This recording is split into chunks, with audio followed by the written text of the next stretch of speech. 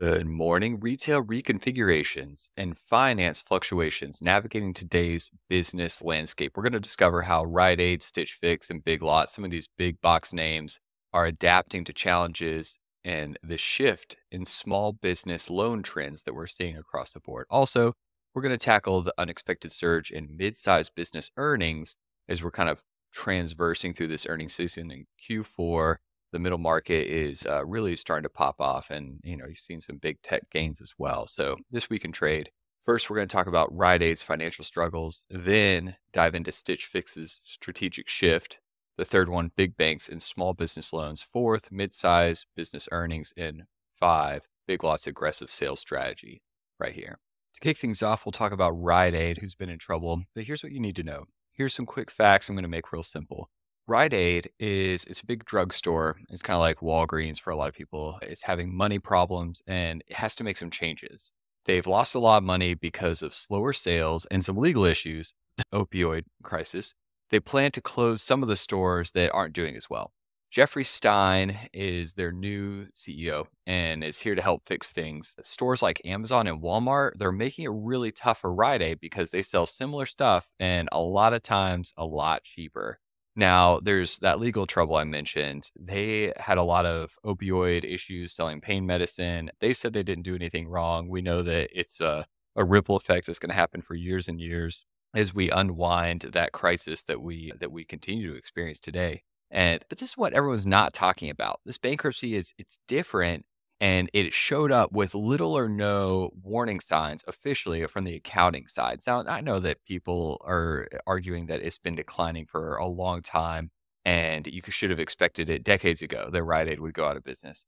But suppliers are in a tough spot because they were really rely on accounting indicating a going concern. It, it, it basically just means that they're having a hard time with validating whether or not they're going to be able to stay liquid, stay in business, keep profits up.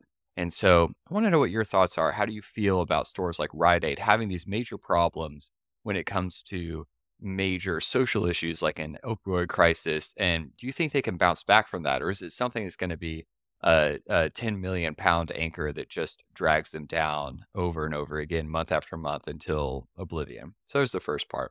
Our second topic here is an important shift in retail. Stitch Fix has adjusted to the changing times in the retail market. So let's unpack that a little bit. There's a big shift happening over at Stitch Fix. It's the uh, company where you would go online and describe your style, and it would provide a service of sending you clothes that would fit what your you know aesthetic was. So uh, they're saying goodbye to that Dallas distribution center in Texas, and it's you know they're laying off over 500 people and it's going to be happening over the course of the first quarter in 2024. Uh, they're also closing another spot in Pennsylvania, and that's impacting another additional almost 400 jobs. These are tough times for these employees for a company that had huge valuations before. I mean, it's supposed to be made of money, right? And so let's let's dig a, like one layer deeper into that here's a silver lining. Stitch Fix is building up their teams in Atlanta, Indianapolis, Phoenix. Very interesting coming out of Texas and into Georgia, Indiana, Arizona, establishing more roles. Now, like I mentioned, we're talking about 800, 900 jobs going away, and they're going to replace it with 200 roles. So you got to really look at the numbers for these headlines to really make sure that it's actually providing any real value to these employees. But for those affected by the layoffs, there's a chance that they could move to one of these other job markets. But who wants to move? From Texas to next door to Arizona, where they're going to have to pay additional taxes Are they're going to offset that. There's a lot of things that they're going to have to consider. And so, my question for you is if you're in the apparel industry, I've got a lot of clients that sell into Stitch Fix. Are those big shifts in retail warning signs of more trouble to come? Or do you think this is just shoring up the ship for uh, potential growth in 2024? Let me know. The third topic Ever wonder why big banks might be turning you down for a small business loan? This is for all my small business owners out there, all my uh, small business kings. The answer, it might surprise you. In recent months, we've seen a trend. Big banks are becoming less likely to approve small business loans. As of September, the approval rate has dipped 13.1%, making consistent decline since middle of 2022. What's causing all this shift? In small business loans. According to the CEO of Biz2 Credit, which is actually a pretty big lender, uh, a lot of big banks seem to be evolving And many are cutting costs, closing branches, and favoring larger deals over small business loans. Let me boil it down for you. They're uh, getting rid of risk. They're offloading things that any loans that they may uh, not see as a sure thing, and they're transitioning to larger deals. I mean, who wouldn't want to transit larger deals? Lower the risk profile for their, you know, anything after a Silicon Valley bank, anything from that point onward is just decrease risk and try to increase deposits at all costs. If you ask any banker, that's what that's what the story of the year has been. But here's a silver lining. Other lenders are stepping up. I've talked to a lot of smaller lenders, private lenders, and they are really intersecting into especially small and middle market businesses and trying to bring in these loans, especially at a time interest rates are so high. It's really hard to refinance any of these loans. But if you're a small business trying to get into the lending space, then the smaller, more private lenders are where it's happening. Regional and community banks have increased their approval rates up to 19.3% as of September. And so we've seen a huge increase more than offsetting the decrease in the big banks. So you used to you're used to going to your Chase bank and getting a business loan just like you would a checking account or a credit card and all of a sudden they'll take your money but they won't lend you anything because you're a small business owner. Well, regional banks, community banks, they're the ones that are stepping up and making sure that small businesses thrive. Now, remember, most of America's economy and businesses are small and middle market businesses, the vast majority. And just because big banks are catering to big businesses just to offset their risk doesn't mean that the entire economy needs to grind to a halt. And I'm really glad regional and community banks are willing to take on some of that risk and finance some of those loans to make sure that businesses stay in play institutional investors and alternative lenders saw slight upticks in their approval rates. We're talking about private equity and alternative lenders, there's a lot of interesting direct loan kind of operations out there. Alternative lenders are leading the, ropa- the pack at a robust 30% increase. Why? These lenders, especially smaller banks, are embracing digital tools and government backed SBA loans, which mitigate the risk. I know I've got a lot of SBA people out there that follow this content and are interested in what's going on in the marketplace, SBA loans are increasing, especially as they are, you know, backed and again, offsetting that risk. So this is a good opportunity to offset the risk and still be able to keep businesses active. So for small businesses seeking funding, it's not just about the cost of capital. My opinion, speed, convenience, and higher cadence of approval matter just as much, if not more, if not more for seeking funding. And let's, in a time of liquidity crunches, let's not punish small businesses just for being on the cutting edge of something. Let's make sure that we're increasing lending activity to keep the economy in a healthy position and not force ourselves into recession. So let's talk. Are you a small business owner and you're in, looking for financing or you're trying to navigate this crazy waters? You went to your Chase Bank and they said no but you don't know where else to go. Don't get disheartened by all those big bank decisions and look at all these options. Some of the ones I talked about, re- again, regional, community banks, private lending.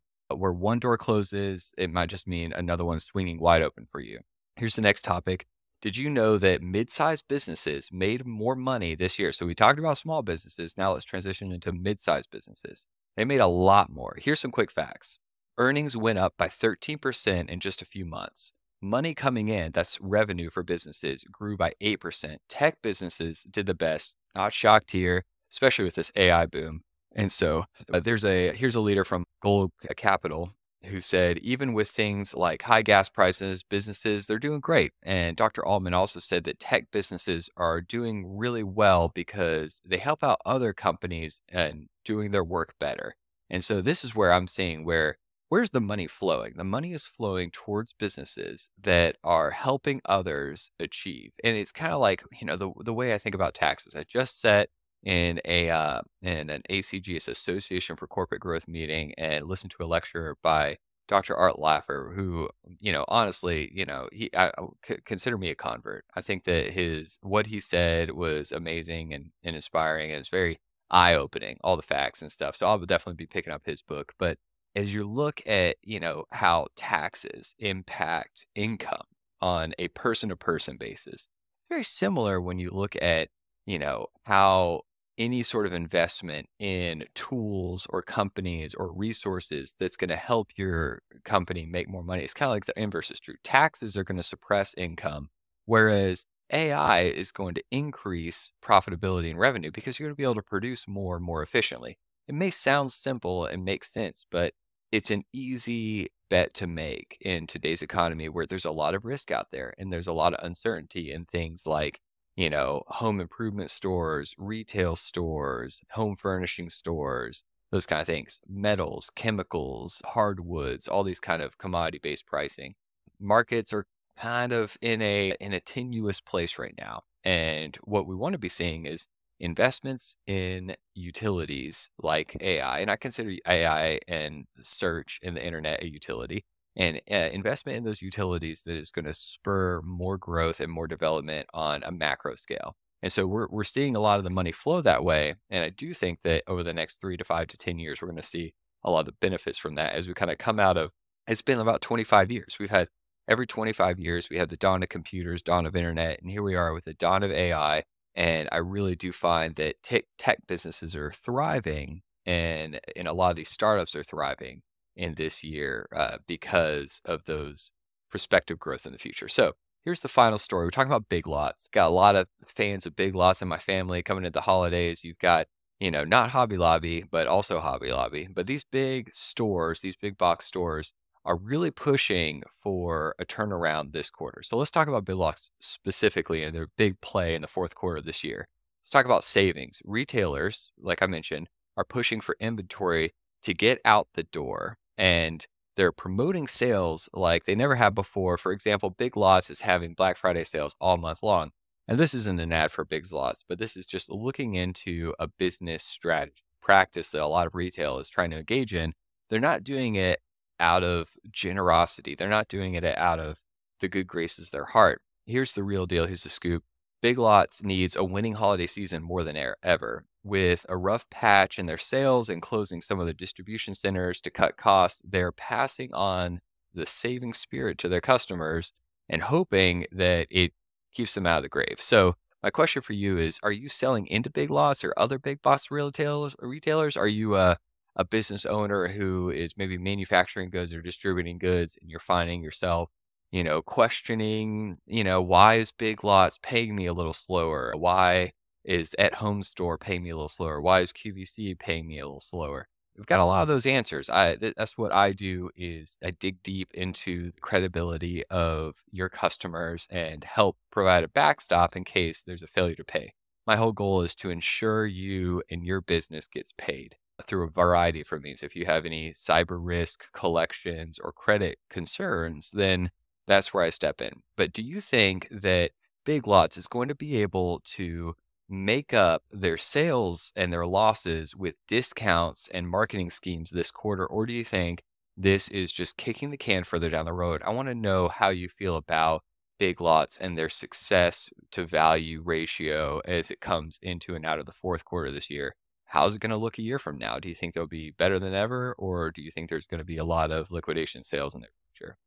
Thanks for listening to this quick rundown of what's happening in trade over the past week. If you're interested in what's happening next week, check out my newsletter. You can find a link and any kind of information, no matter where you're listening it to. Please feel free to like, follow, subscribe, and share this content because I think it could be very helpful for you in the future. And if you have any feedback, please let me know in the comments or you can find anything in my information, dfbradley.com.